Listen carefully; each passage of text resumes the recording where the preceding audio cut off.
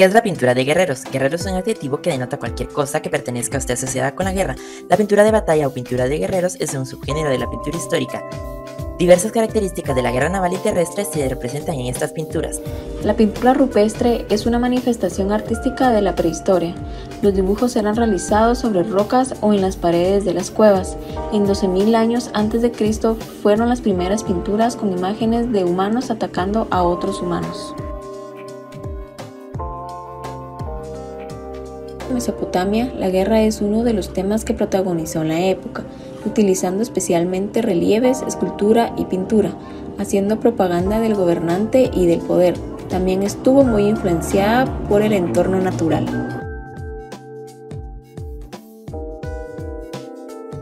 En los templos y tumbas se utilizaban las pinturas para decorar. La técnica era muy variada.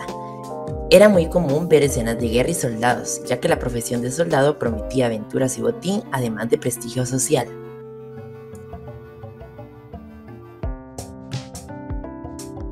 La pintura se manifiesta en frescos decorativos. Fueron realizados con una técnica similar a la marquetería, hallados en la mayoría de las residencias de los edificios, plasmando lo que sería una de las ceremonias más extrañas.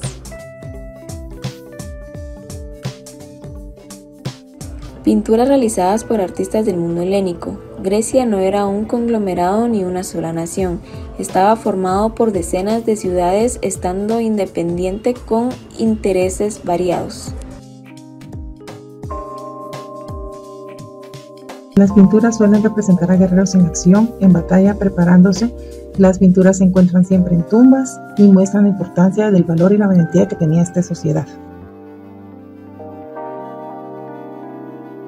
Una de las formas más comunes de representar a los guerreros romanos era a través de mosaicos y frescos en las paredes de edificios públicos y privados. Estas obras a menudo representaban escenas de batallas acompañadas por militares.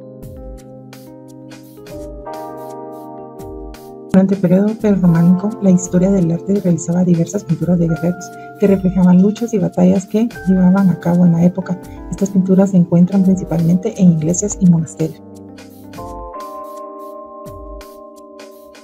La representación de los guerreros románicos, estos en la pintura pues se centró principalmente en la iconografía religiosa. En estas iglesias y monasterios de la época también es común encontrar representaciones de santos de guerreros como San Jorge y San Miguel.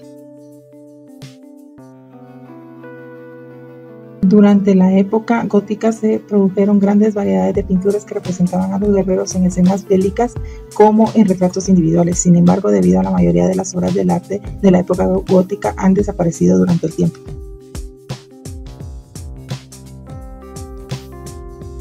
En el Renacimiento, la pintura de guerreros o pintura de batallas comienza a tener más desarrollo, aunque ya habían indicios en el arte antiguo. Tenemos ejemplos de esas pinturas como la batalla de San Romano, la batalla de Ostia y los malogrados murales de Miguel Ángel. Felipe II encargó en la Galería de Batalla del Monasterio del Escorial la representación de un conjunto de batallas que glorificaran a la monarquía hispánica. Algunas obras que representan a guerreros son San Martín y el Mendigo, La caída de los titanes y Carlos V a caballo. En el barroco, el detalle y la precisión era una característica común. Se representaban batallas en grandes óleos con una vista de pájaro. Se pueden observar los personajes principales a los lados. Entre los artistas importantes estuvieron Sebastian Branks y Excalot. El rococó se originó en Francia a principios del siglo XVIII y posteriormente en otros países. A pesar de ser un estilo muy ligero, hay algunas pinturas de guerreros con este estilo, como el guerrero y el descanso. El neoclásico alcanzó su apogeo en las décadas de 1780. En el arte es una postura estética inspirada en el arte de las antiguas Grecia y Roma. Entre las pinturas de guerreros o batallas se encuentran El rapto de las Sabinas, Leonidas en las Termopilas y Juana de Arco en la coronación de Carlos VII. Romanticismo. En este se dieron cambios en el ámbito artístico y social, mostrando una postura totalmente a la del neoclasismo. Dentro del romanticismo existen algunas obras que relatan la guerra. Es aquí donde aparecen retratados los guerreros que libran batallas, y en algunas obras se puede ver cómo obtienen la victoria. Realismo, un movimiento artístico basado en la representación de la realidad y de la vida cotidiana. Esto quiere decir sin idealizar. Los guerreros que representan estas pinturas son meramente personas de la vida cotidiana, obreros, trabajadores y agricultores.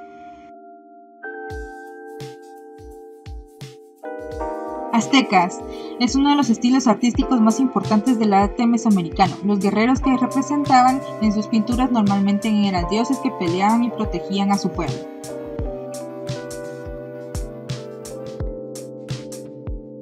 Maya. La pintura realizada por los mayas se caracterizaba por la representación de figuras humanas de perfil. En esta solían plasmarse batallas donde aparecen los guerreros, muchas veces acompañados por deidades, donde los dioses solían tener figuras grandes, extrañas e imponentes, mientras que los humanos tenían una apariencia más normal. Inca. El arte de los incas es un conjunto de técnicas que en su momento fueron muy innovadoras. En algunas de sus pinturas podían verse guerreros con sus lanzas y escudos a la mano, normalmente sirviendo como protección al rey. Gracias por tu atención.